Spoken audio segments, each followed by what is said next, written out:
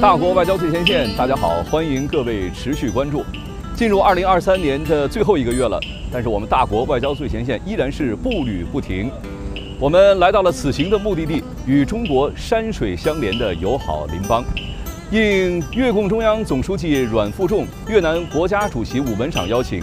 中共中央总书记、国家主席习近平于十二月十二号至十三号对越南社会主义共和国进行国事访问。来到越南第一站，当然还是机场。我们现在呢已经抵达了越南首都河内内排国际机场。我们现在可以看到啊，在机场有很多越南当地的政府官员以及越南的民众的，呃，高举中越两国的国旗，身穿越南当地的民族特色的服饰，在准备迎候习近平的到来。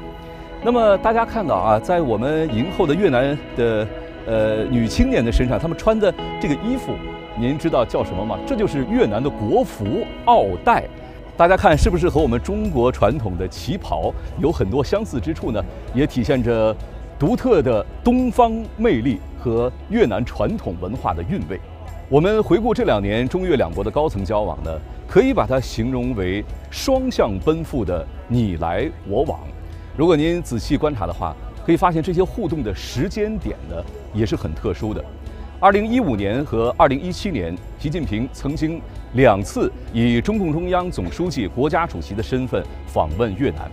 而二零一七年的那次越南之行，是习近平在中共十九大闭幕之后首次出国访问。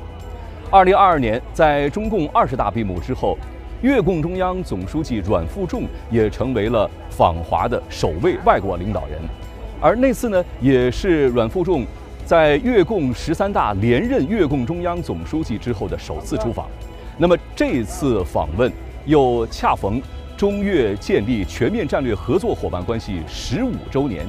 所以啊，我们可以看到这些点点滴滴在重要时间节点上的重要的外事活动，像走亲戚一样的常来常往，恰恰印证了那句话，就是中越关系是。超越了一般意义的双边关系，凸显出了中越两党两国同志加兄弟的深厚情谊。欢迎欢迎，热烈欢迎，欢迎欢迎。好，我们现在看到专机已经在停机坪停稳，那现场的欢迎人群呢正在等待舱门打开。那么就在此时此刻，哦，大家通过我们的镜头可以看到，在我们的画面当中，越共中央政治局委员。越南政府总理范明正也专程前来迎接习近平一行。就在今天上午，习近平在《越南人民报》上发表题为“构建具有战略意义的中越命运共同体，开启携手迈向现代化的新篇章”的署名文章。